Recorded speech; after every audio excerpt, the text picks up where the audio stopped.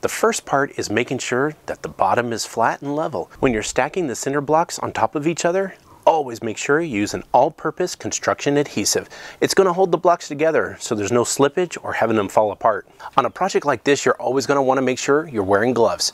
Cinder blocks can really rough up your hands and you want to make sure they're protected. When using cinder block, always know that they are heavy. If you need to grab somebody to help you out, don't hesitate to do so, especially as you're stacking. Sometimes you might need to move one of the cinder blocks out of the way in order to put extra gravel or sand underneath to make sure it's level.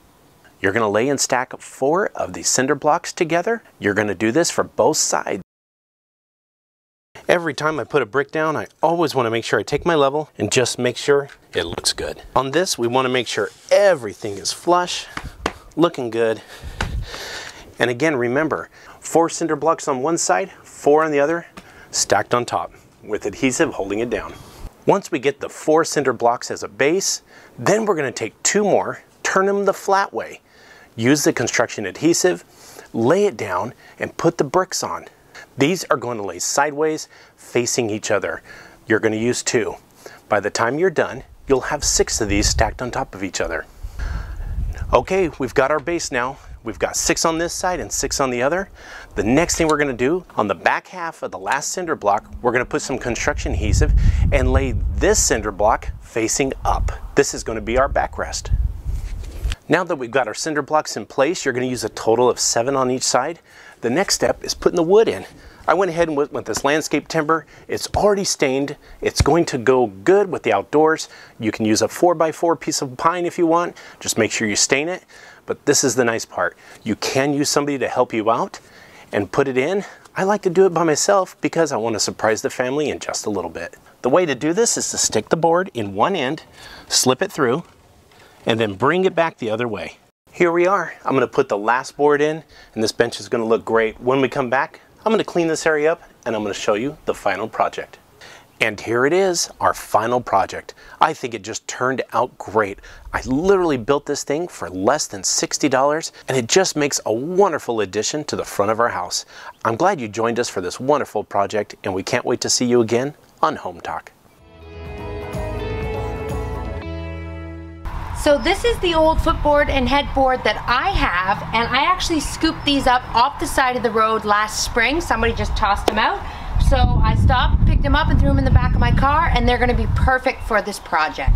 So I don't want my bench sliding around on my front porch, so I'm actually gonna remove all the wheels off the headboard and footboard. But these are pretty nice wheels, so I'm gonna hang on to them and save them for an alternate project. I never throw things like this out because you never know when you're gonna need a good set of wheels, caster wheels. It was quite simple to remove the wheels. I just had to twist them around and pull them out of the hole. A few of the wheels were a little tough to get out, so I did need to use a pair of needle nose pliers to help me pull out all the pieces. You also want to make sure that you get the whole piece of the wheel out because if you want to reuse these wheels, you will need this piece um, for your next project. Now that all of the four wheels are out of our headboard and footboard, we are going to start by making our side pieces first. If you are using a headboard and footboard that are different sizes, you want your footboard to be for the side pieces. My headboard and footboard are exactly the same size, so it doesn't matter which one I use, but if you happen to be lucky enough to get a nice big high headboard and a little footboard, make sure you use that footboard for your side pieces. The first step is to measure the footboard so that we can find the middle and this is where we're going to make our first cut. The middle of my footboard is exactly 21 inches so I made a mark with a pencil and now I'm using a jigsaw to cut down the line. I'm going to stop when I get to the spindle and I'm going to turn my footboard over and cut from the top.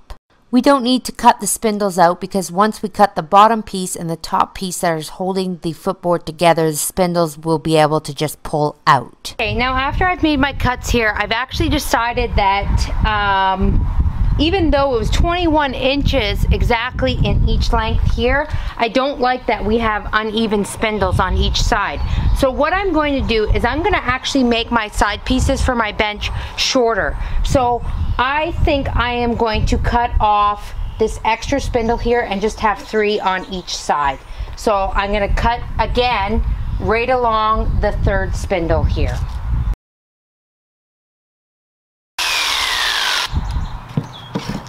And again, you guys, make sure you save pieces like this because this is a really nice old rustic spindle. You could even use it in your decor or anything like that. So I never throw away things like this. Always hang on to them because you never know when you're gonna need them.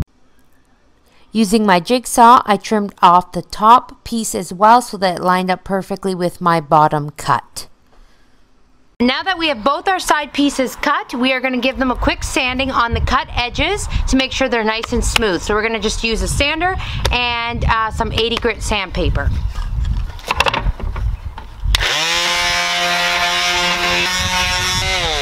So the idea is that these side pieces are going to sit up against here. So when I put my pieces together at a 90 degree angle, this last spindle here, this third spindle is preventing it from sitting flush up against the other headboard. So I'm actually going to cut this one out. Using my jigsaw, I cut out the third spindle on each piece. Next, I placed the headboard up on my work surface and I used two clamps to clamp it to the table so that it would stand straight up. Using a drill, I drilled three pilot holes where I would be placing the screws in to secure my side pieces to the headboard. To secure the side pieces to the headboard, I used 3 inch wood deck screws. I made sure to mark out exactly where my side piece would be going before placing it in place with the screws and then I tipped the bench over so that I could secure the screws tightly in place. With the one side piece on, I was able to then stand my bench up so that I could fix the other side piece to the bench. I did this in the exact same way I did the other side by drilling pilot holes and then screwing in with my 3 inch wood screws. To secure the top portion again, I drilled a pilot hole before placing in my screws. I do want to mention that pilot holes are very important, especially if you're working with an older headboard and footboard because you don't want the wood to split. Now that the frame of our bench is completed, we can move on to making a seat. First, I used a tape measure to measure the distance on the inside of these side panels. Using this measurement, I cut two pieces of wood that I would be using to make a base for my seat. Now I had scrap wood laying around, but if you don't have any, I would suggest using 2 by 4s So what I did was I drilled some pilot holes in the side panels, and then I placed my wood pieces in place, and then using 3 inch screws, I screwed through the side panel into my pieces of wood and then I repeated the process on the other side. To complete my bench seat, I used some scrap pieces of wood that I had from an old shelf. I placed them vertically across the two pieces of wood that I just screwed in, and then I took a measurement so that I could cut them to fit so there wasn't a large overhang. I used a miter saw to cut all the vertical pieces. Since I like the weathered look of the vertical pieces, I wanted to paint my bench first before fixating them. So I used Dunegrass paint from Country Chic Paint and I painted the entire bench. I did one coat of Country Chic paint over the entire bench as well I painted the wood pieces of the bench seat because these will be seen through my slat pieces that are going to be going over top. I placed the vertical slats in place, lining them up, making sure that they were all straight and that the spaces in between were even. And then using a air nailer, I secured the slats into place, making sure that I was going into the two pieces of wood underneath. Now that my bench was completed and finished, I placed it here on the porch in this stunning space. And I love how perfect this project came together.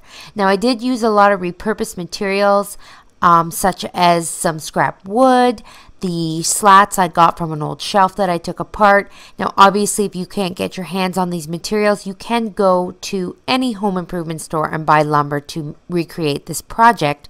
But I do hope that this will inspire you to think about what materials you can repurpose to make a cute, adorable bench for your front porch. I know I'm going to spend many afternoons out here enjoying my new bench.